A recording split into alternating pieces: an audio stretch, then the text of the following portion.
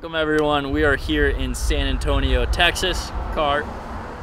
San Antonio, Texas, here at Leading Edge Archery. Super awesome pro shop here in just out it's like just outside of San Antonio, about 30 minutes, but we're gonna dive on in, see what they're all about. And uh, they said a lot of people are gonna show up today for uh, just like hang out and shoot, so we'll see. It's uh, it's gonna be a fun day. All right, everyone. We have Scott with Leading Edge Archery, and uh, we've been hanging out like all day, and nearly, and we've been podcasting, we've been shooting, we've been you made food for us. It's an awesome shop, and uh, really, really awesome town too. We went downtown, Black Rifles downtown. But Scott's gonna take it away and give us like a full rundown Yeah. of the shop. Where'd you shoot this thing, or who shot So, this? believe it or not, Philip, the guy who was just here a second ago, he's one of our owners. He killed that in uh, Colorado two years ago. Crazy story about that, um, muley. He's 224 in velvet. He killed it on the way of tracking his bull elk that he shot, no way. which is hanging up back there. Yeah, it was pretty awesome. He he made a great shot, and they were tracking the bull. And as they were tracking, they seen this muley. He had a tag, and he killed that hammer. It was the second largest one that was killed in uh, Unit 751 Wow. ever. That's 224 unreal. Yeah, he's a hammer.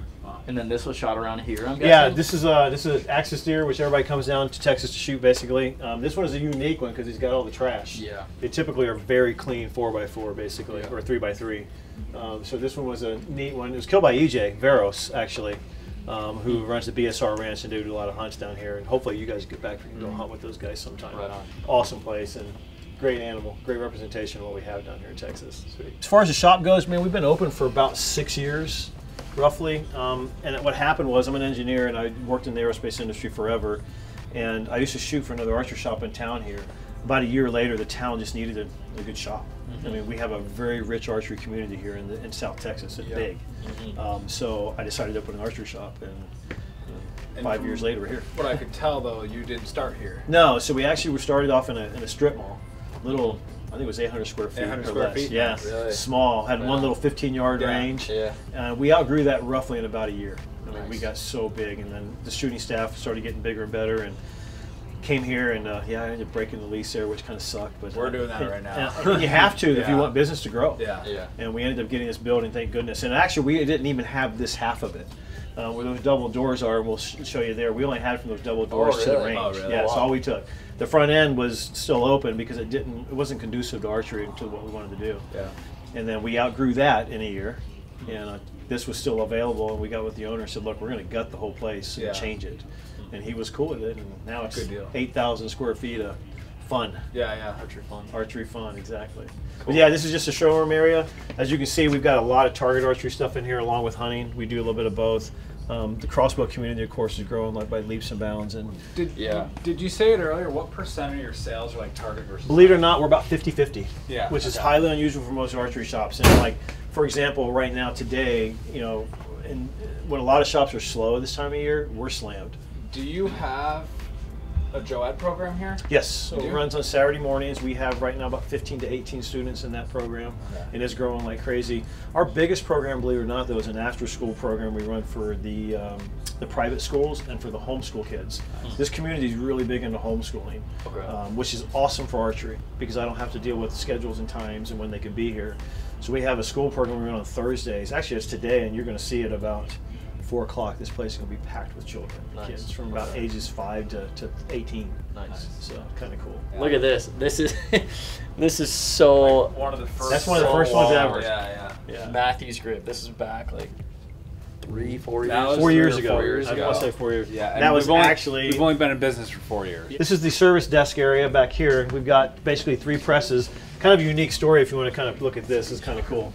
We uh, we're really big in the Paralympic community, and we've got a bunch of archers that are in chairs that can shoot here. Mm-hmm. One of our guys, Jason Tabansky's on the team, and I actually did that press and everything over there with the sign, the parking lot sign. Oh, for Jason specifically. Yeah, we actually I actually measured his chair height and everything and put that press there so that it's easily accessible for him.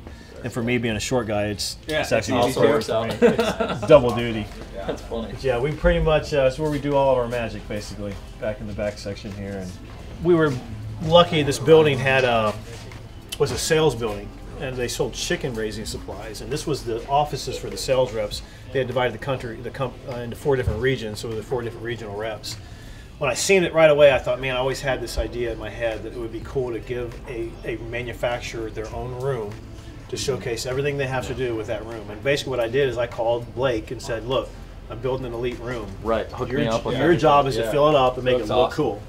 So And, how uh, did you get like their their certain paint color that Yeah, you matched it to? yeah, the color we code matched it- we Because matched it's all, it. It's all Hundred percent. well. We Yeah. matched everything. So when you go into this room, you're getting the elite archery experience, Yeah, that's basically. awesome. And the other thing is, is I don't have to worry about customers overlapping over top each other to test bows on one bale. Yeah. Right. You know, Hoyt, Mathews, Prime, whatever it may be. We've given each manufacturer their own room to have that experience. Right. in. That's And it- cool. the manufacturers love it. It's something that they, uh, and I've had tons of shops actually call me, and I've taken pictures and video, Yeah. sent it to them because they want to model their shop around that same. Well, it's nice. A lot of pro design. shops, you know, line it all up, Uh-huh. and you can't really ascertain Right. like, branding or what bows what. But this really, you can tell. Like Yes. when you walk into this room, it feels like you're at. Hoyt. You're at Hoyt. When you walk into that room, you feel like you're at Elite. Absolutely, Yeah. and that's what it, worked out really well. And I will tell you, from uh, I've had a guy come in who was doing an assessment for us to find out the value of the building. He's a retail expert, and his opinion was, look, you're wasting a lot of space because you could take all of this and put it in half of that. Right. Mm-hmm. And I said, I agree with you, but I'm not giving the customer that experience, Experience, of that yeah. manufacturer. Right. I love point. it. I think you need an Ultra V one. Yeah. no, you do it in New York second, it'd be awesome. Um, but yeah, it's worked out really well for us, and it's been uh, it's been a big hit for most of our customers. They love it. Um, used bow rack, we do carry. We're active in the used bow area. I don't shy away from it. A lot of companies Right. think we're stupid for doing it. Um, it. Believe it or not, it's our largest SKU item that we carry as far as the, the transactions and sales. Um, and it's been great because it gives us an opportunity to take, you know, a one-year-old frontline bow from Hoyt, Right, right. give it, put a customer inside of it, and and he's into it for basically six, seven hundred bucks under what Yeah, it would and it prevents them from just going and getting it online off Exactly. eBay and it comes in all Exactly. screwed up. I'd rather them get it here, and you know, a lot of guys say do warranties hurt you because if they blow it up. I've literally have, I think I've replaced two sets of limbs on me because they're a good repeat customer. Right. And in the long I'm willing to run, take that risk. Yeah. Yeah, long run, absolutely. That's all right. Go back in this section over here. This is where we were. From these doors were not were closed and blocked off. And, this And you were on this side. And we were on this side right here. Okay. Yeah, this is where we kind of started after we moved out. So how long? How many years were you here before you? Uh, one year. One year. We got grit in one year. Yeah. So imagine this: we had all those bows in center gondolas right here. Yeah. There were two rows, and they were just stacked up. Yep. And that's kind of, and this was all pegboard all the way across that door, and the pegboard there. So it wasn't a lot of display at all. I mean, it was tough.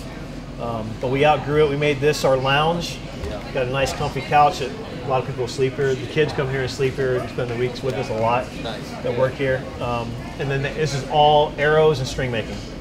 Everything we do here is uh, nothing but arrows and strings. And lastly, is the big old range. It's huge.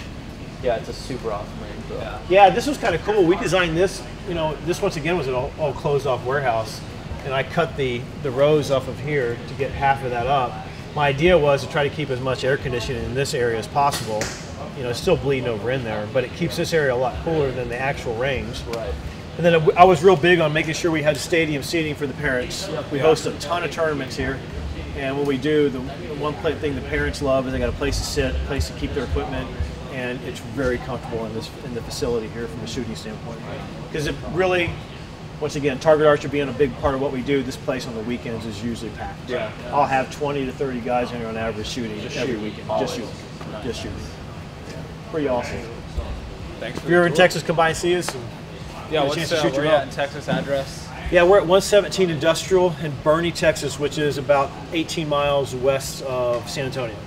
Yeah, it's called in the hill country. It's a beautiful town, um, and there's so much to do here. You guys, like I said, if you weren't Yeah, if we if we we, weren't weren't running, out we'd be hunting tonight. Yeah. Seriously. we'd be hunting tonight for sure. All right. So Where we're are the just 700 Scott do me just pulled these out. Go cut me. We have these tiny, Um, tiny little bows, and we're gonna do a make them like competition. 20. We're gonna do a couple of us shooting. We're gonna do the mini bow challenge.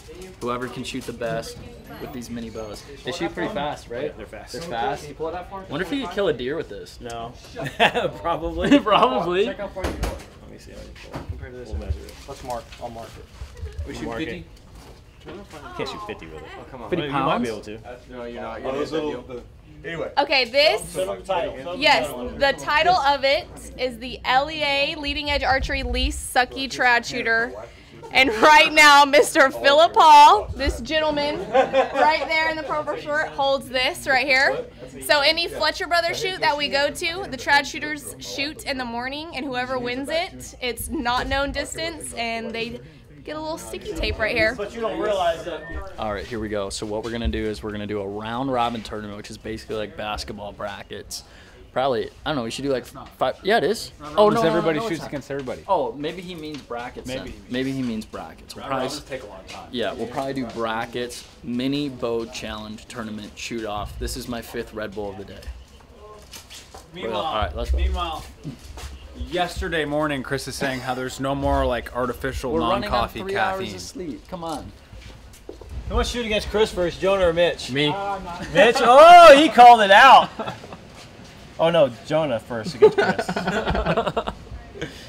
All right, here's the deal, guys. We have 12 contendants that volunteered to get annihilated by Scott. I hear Scott's really good at these things, right? no. Negative. So we have these mini bows. We're set up at 10 yards, and we're gonna do a bracket system, elimination to the death. Where we have a plank out back. They gotta run off the roof if they lose. Just kidding. so this is gonna be fun. It's gonna be a lot of fun, and uh, hopefully we all don't Yep. miss. Nico. So same with Reedy's when we did the long distance shot. We have a $300 UV gift card on the line to whoever makes it out at the end of that 20 bracket over there. So- engraved on Amazon for nothing. What is it? Yeah, there's uh, there's a lot at stake. That's what I was trying to say. you got it. Oh, did you hear that?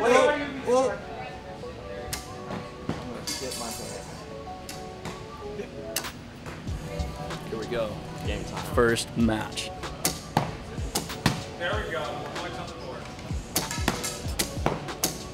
Oh, oh.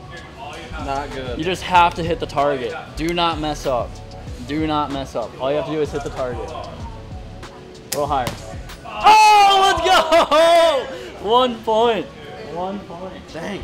You ready? You ready? All right, here we go. Here we go. Oh, Anderson, no pressure. Oh! No pressure. You found it. I was canting the boat too hard.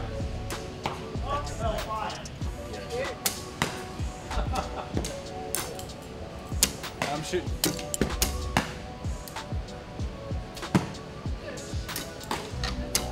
Oh!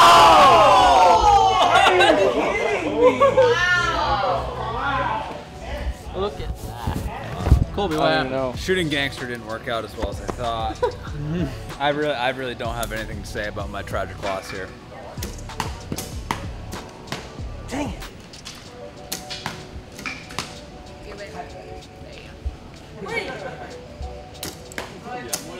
Let's go. All right, next semifinal is Jonah and Cole. No way. Let's go, baby. Oh man, we're stacked. It's the wrong target every time. What should I hit? That big shot? Go for 14. Go for 14. Like lane number 14. Double point.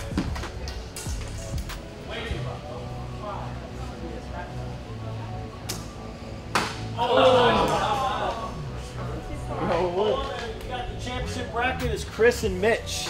All right, here we go. Mitch and I are in the finals. Let's go. $300. Ultraview gift card, $300 Ultraview gift card, but we, we're not going to take it. We're going to throw a spin on it, so someone here is going to get it. One point. Oh, let's go! Big points on the board.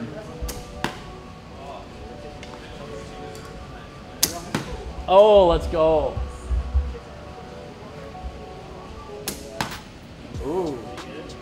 What do we got here? what is that? Okay, we got five, three, one. So five, six, seven, eight, nine. Then we have one, two, three, four, five, six, seven. Fell by Nine two. to seven. I think he's messing up shooting the We're, hand. throw, we're throwing a spin on. We're throwing a spin on this. I gotta do it with this for all the marbles.